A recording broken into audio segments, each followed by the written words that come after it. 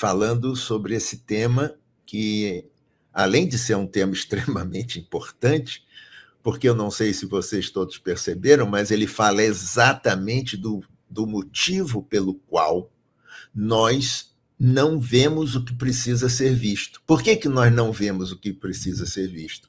Porque o que precisa ser visto não existe para a gente. Então é importante que a gente perceba de que nós temos três instâncias dentro da nossa consciência. Essa, a primeira instância é aquela parte nossa que nós sabemos que sabemos.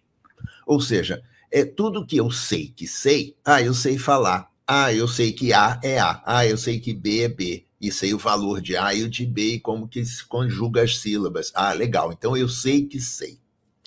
Agora, tem coisas que eu sei que eu não sei. Por exemplo, eu não sei falar alemão fluentemente, né? Eu então eu sei que eu não sei.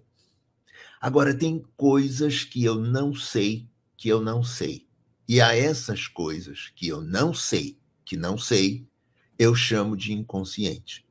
Então é importante que nós percebamos de que quando nós falamos inconsciente, nós, diz, nós trazemos conosco uma hipótese a hipótese de que eu não sei que eu não sei.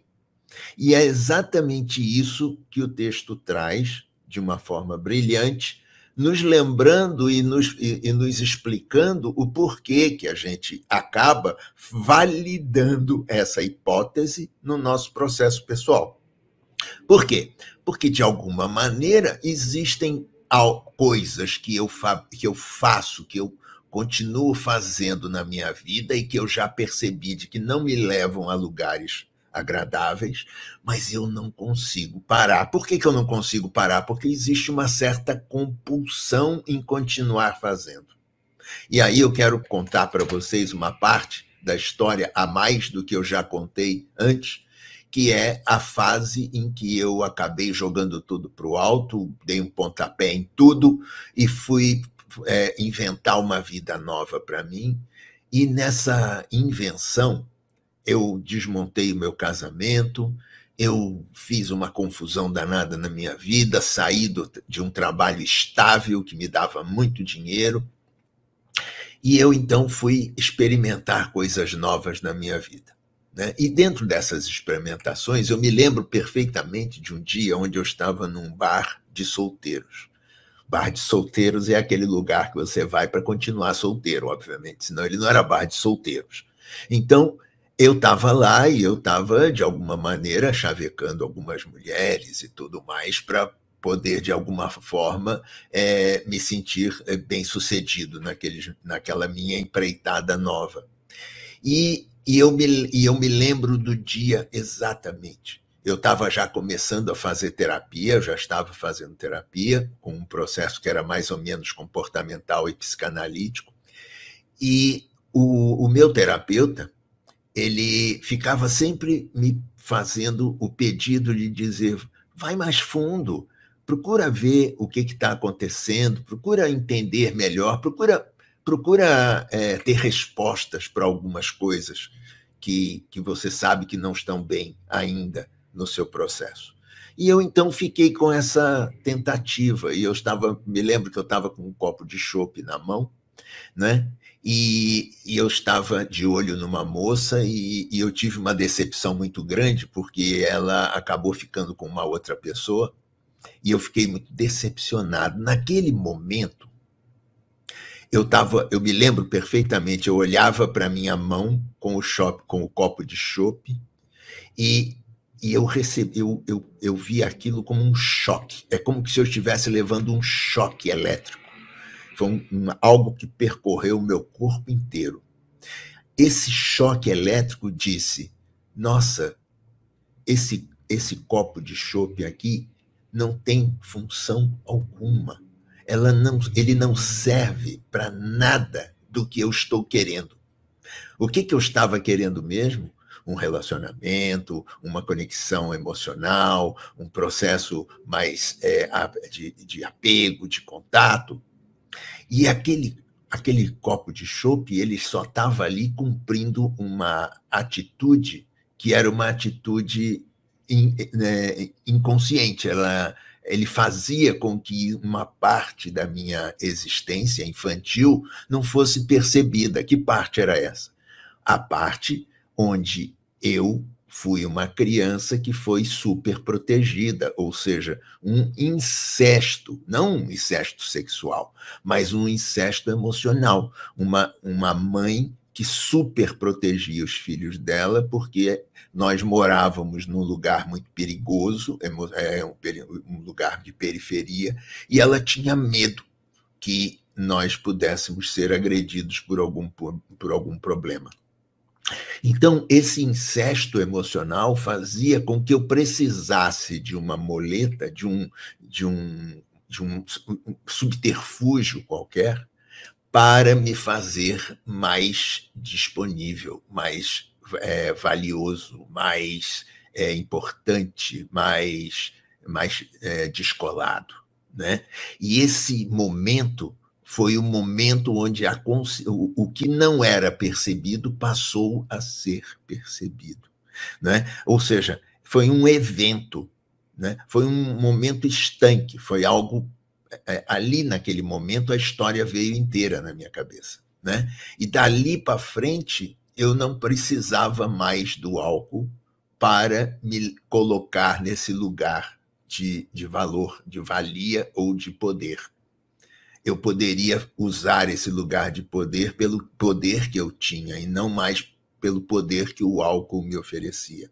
E é isso basicamente que esse trabalho nos remete. Ou seja, se vocês olharem o texto, vocês vão ver que existem, na verdade, três possibilidades nesse processo todo, dessa inconsciência. Ou seja, a inconsciência ela se transforma em três atitudes diferentes a atitude do espelhamento, da transferência, que a gente chama, ou do deslocamento, que é qual? É aquela onde, vamos dizer assim, nós é, repetimos os sentimentos para os outros. Ou seja, é como que se nós é, sentíssemos para os outros e não para nós mesmos. E nesse momento eu estou espelhando alguém, eu estou transferindo algo para o colo de alguma pessoa ou estou deslocando algo que é meu para aquela outra pessoa. A segunda possibilidade é a possibilidade da introjeção. O que, que significa introjetar? Significa trazer para si, não é? Ou seja, nós replicamos esses sentimentos em nós mesmos. Ou seja, a inconsciência agora vira contra nós ao invés de ir para fora, ao invés de ser transferida, de ser espelhada, de ser deslocada para fora, ela agora é engolida, ela é introjetada, ela é sublimada para mim mesmo. Né? E isso tudo faz com que a gente comece a entender a encrenca onde a gente está inserido, mas não para por ali, porque ainda tem o lado da projeção. O que é projeção? É como se eu dissesse, eu superponho nas outras pessoas algo que, de alguma maneira, é, são atitudes minhas. Ou seja, é como se aquelas pessoas, eu projeto nelas algo que não é delas, é meu. E eu, então, superponho a, a elas. Né? E todas essas tentativas são elas têm uma função. Qual é a função? Manter não é, consciente aquilo que supostamente precisa continuar consciente. Por que, que precisa continuar consciente? Porque dói, porque não quer ser visto, porque ele, ele foi criado, a porta da sala do lado, como o texto usa, foi fechada justamente para não ouvir esse barulho. Esse barulho incomodava e ele não podia ser, ele não queria ser ouvido. Portanto, eu precisava manter essa porta fechada. Né? E essa porta, então, ela é fechada através de racionalizações. Ah, as pessoas são assim mesmo. Ah, minha mãe, ah, a família do meu marido ou da minha esposa. Ah, é aquela, o meu chefe. Ou seja, eu crio racionais, eu crio análises, eu crio explicações né, que, que facilitam o meu processo, né? São desculpinhas, são coisas que eu invento para dar certo, para eu para eu sair bem na fita. Né? Mas, na verdade, elas não têm sustentação nenhuma. Por quê? Porque elas, elas apenas tentam apagar da minha consciência algo que não está na minha consciência. E, portanto, fica muito fácil para mim. Mas as outras pessoas, claro que elas percebem.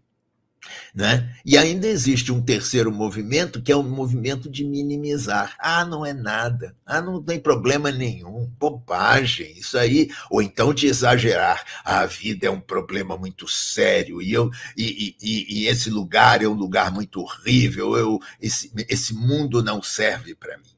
E, portanto, todas essas coisas eu vou acumulando, vou criando situações, como Freud nos, nos explicou tão bem, e eu então vou inventando maneiras para manter com inconsciente o que foi feito inconsciente e precisa continuar inconsciente. Ou seja, precisa continuar não sabendo que sabe. Tá certo? Então eu não sei que não sei. E, portanto, isso fica lá atrás presinho, e é esse o trabalho que todos nós temos que fazer. Né? Ou seja, nós precisamos ter um objetivo nesse trabalho. E o objetivo vai ser é, sair dessa tentativa de ocultar o passado, de não de deixar o passado na, no lugar do não sei que não sei de olhar para esse passado e tentar, de alguma forma, mergulhar nele para saber os símbolos, quais são os espelhamentos, quais são as transferências, quais são os deslocamentos, o que, que eu introjeto nos outros, o que, que eu sublimo nos outros, o que, que eu projeto, o que, que eu superponho. E eu, então, vou fazendo esses trabalhos, vou vendo essa, essa miríade de situações, de possibilidade, até que eu chego no lugar do ahá, agora eu sei o que está acontecendo. Não é? Porque agora eu comecei a, a, a fazer o, o, pegar o fio da meada. Agora, o, o que que o que que isso, o que que é isso na verdade? Que portal é esse? Que, que porta é essa que fica fechada, né? Quando o livro foi escrito, se sabia muito pouco, porque o grande avanço da neurociência aconteceu nos últimos anos, nos últimos sete anos. Então, isso significa dizer que é, muita coisa do texto ainda fica muito difícil de perceber. Né? E então eu queria mostrar para vocês algumas coisas que hoje nós sabemos. Né? Nós temos dentro do nosso cérebro uma parte que se chama corpo caloso. E essa parte do corpo caloso, ela, ela divide o cérebro, a, o hemisfério de direito do hemisfério esquerdo. E, portanto, esses dois hemisférios, eles, eles aparentemente são, são iguais, mas não são iguais. Eles têm neurologias e canais diferentes rodando neles, mas eles se comunicam de alguma maneira, ou pelo menos deveriam se comunicar através desse corpo caloso. E esse corpo caloso também tem a função de fazer com que o que acontece abaixo do corpo caloso, que é o sistema límbico, o sistema reptiliano, é, é, é fique, fique visível para o neocórtex. Então, é como que se dissesse o corpo caloso, além de conversar entre o cérebro esquerdo e o direito, entre olhar as minhas emoções e poder perceber o que está acontecendo com as minhas emoções, com os meus sentimentos, ele ainda também tem uma função de saber o que, que, o que, que vai passar pela porta para a consciência do neocórtex. Por que, que é isso acontece? Porque tem algo dentro de nós que precisa continuar inconsciente enquanto tiver função. E é exatamente a função dessa inconsciência que nós precisamos fazer o nosso trabalho para que nós possamos perceber o que, que ainda nos pede ficar inconsciente. E é claro que eu preciso fazer um esforço. Como que isso acontece? Isso acontece através de dois sistemas. o sistema dopaminérgico, ou seja, o sistema que é controlado pela dopamina, e o sistema da serotonina, serotoninérgico. Então, esses dois sistemas eles ficam é, contrabalançando um ao outro. Né? Um, o sistema dopaminérgico ele procura apego, criar apegos e criar conexões. O sistema, é, o sistema é, serotoninérgico ele tenta dar uma olhada nas, nas, nas minhas obsessões e nas minhas é, compulsões. Então, ele, ele trabalha para controlar os meus excessos. Então, esses sistemas todos eles ficam é, olhando um contra o outro. Ou seja, toda vez que o meu sistema procura por apego e por conexão, né, o sistema dopaminérgico, o sistema é, serotoninérgico é, quer exagerar. E aí o sistema de apego e conexão diminui. E quem que faz esse contrabalanço? O sistema que trabalha com o cortisol, com o estresse, que faz o controle entre esses dois.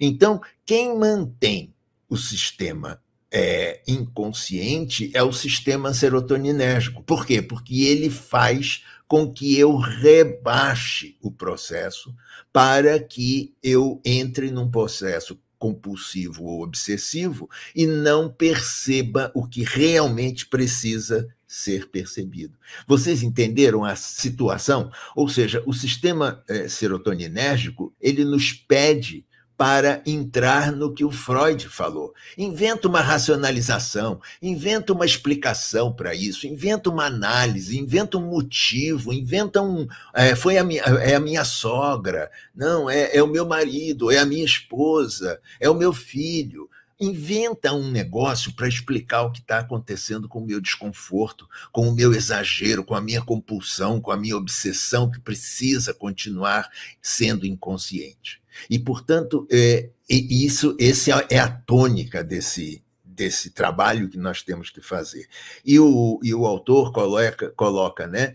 É, nós precisamos entrar nesses detalhes, nós precisamos é, nos arriscar a ir mais fundo nesses detalhes para que nós possamos criar novos caminhos, caminhos que agora não são mais tão inconscientes, mas que possam nos levar a lugares onde eu começo a ter não mais explicações, não mais motivos ou análises, mas é, situações que explicam situa maneiras ou processos ou atuações que eu ainda faço e que, de alguma maneira, eu já sei que elas não me levam a alguns lugares. Eu vou dar um exemplo para vocês. Dentro dessa mesma história que eu contei para vocês, existia essa história do álcool como sendo uma compulsão que fazia com que isso, com que eu é, estivesse em, em, em público de uma maneira possível porque para mim era muito difícil. E vocês hoje veem que eu tenho uma fluência boa, que eu falo, que eu, eu, eu me exponho e está tudo bem. Né? Então, o que, que aconteceu de lá para cá? Exatamente a, de, a falta de necessidade de fechar aquela porta que era fechada anteriormente e que o álcool mantinha fechada. Né? Ou seja, a partir do meu sistema serotoninérgico, o, o, o álcool fazia com que fosse captado, né? que, quem, quem faz uso de ansiolíticos ou antidepressivos sabe que existe uma sigla chamada SSRI. Então, é, é, é, esse, esses sistemas inibidores da serotonina, eles fazem com que, de alguma forma, eu coloque disponível serotonina a mais nesse sistema, é, é, nesse portal, para que a porta consiga ficar possível de ser aberta. Como? Rebaixando o sistema. Ou seja, é como que se dissesse: eu, eu, eu crio isso através de uma situação de ficar grogue. Ou seja, é, toda vez que eu tomo um ansiolítico, toda vez que eu, que eu tomo um antidepressivo, eu fico meio dopado. Ou seja, eu fico meio rebaixado. Por quê? Porque o meu sistema é, do, é, é, serotoninérgico ele sai do processo da compulsão e, portanto, eu consigo ter uma situação menos menos criada, menos alternativa, como é que é a palavra? Menos, menos fantas, fantasmática. Né? Eu, eu saio da minha fantasia e vou para um lugar mais rebaixado. Só que às vezes eu vou para um lugar muito rebaixado. Então, é, a melhor maneira não é através da medicação. A melhor maneira não é através do álcool. A melhor maneira não é através da dopagem. A melhor maneira é através da consciência. É através do trabalho pessoal. E é esse o trabalho que, na verdade, esse, esse, essa parte do capítulo pede de todos nós. E eu queria convidar vocês a questionarem-se né, dentro dos processos que vocês já percebem que incomodam vocês, mas que vocês ainda preferem ou escolhem colocar algumas desculpinhas. Comecem a criticar essas desculpinhas. É verdade que a minha sogra é verdade que o meu sogro, é verdade que o meu esposo, que a minha esposa, é verdade que o meu chefe, que a minha, que é meu colega de trabalho, são tudo isso que eles são de verdade. Mas por que que isso me afeta?